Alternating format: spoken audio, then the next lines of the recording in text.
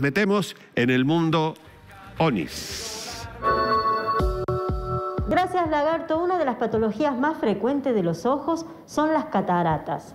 Entonces queremos saber de qué se trata. Para eso nos vinimos aquí, al Instituto ONIS, que se encuentra en Valle Escondido. Estamos con el doctor Santiago ONIS. Buenos días, doctor. ¿Cómo le va? Buenos días. Bueno, vamos a hablar hoy de cataratas, ¿no? ¿Qué son las cataratas? Bueno, la catarata es el envejecimiento de una parte de nuestro ojo. Esa parte se llama cristalino y es la lente natural que nosotros tenemos. El cristalino, como su nombre lo indica, es transparente y con el paso del tiempo va perdiendo esa transparencia.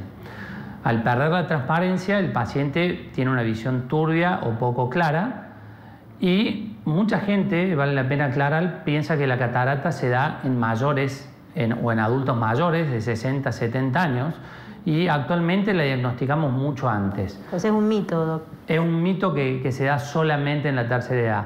Eh, se puede dar existe la catarata congénita, la catarata del adolescente y la catarata del adulto, que obviamente es la más frecuente. Pero dentro de las cataratas se pueden manifestar por traumas también o por un trastorno metabólico o porque el paciente tuvo, un trasplante o alguna patología que requirió de muchos años de corticoides. Doctor, ¿y cuál es la solución para el que padece catarata?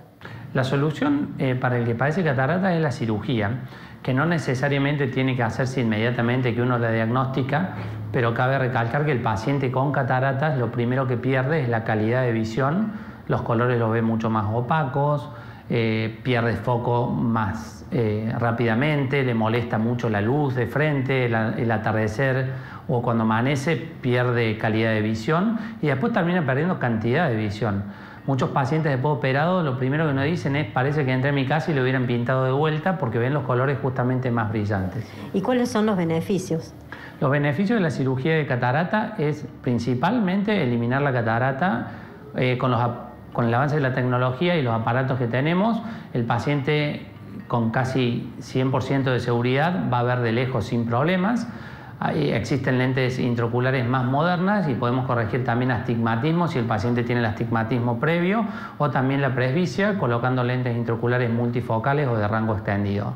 Entonces el paciente recupera su visión eh, prácticamente en un 98% de las circunstancias de la vida sin utilizar lentes como conducir tanto de día como de noche, ver el celular si le llega un mensaje, ver la computadora, ver la carta en un restaurante o ver el plato lo que está comiendo.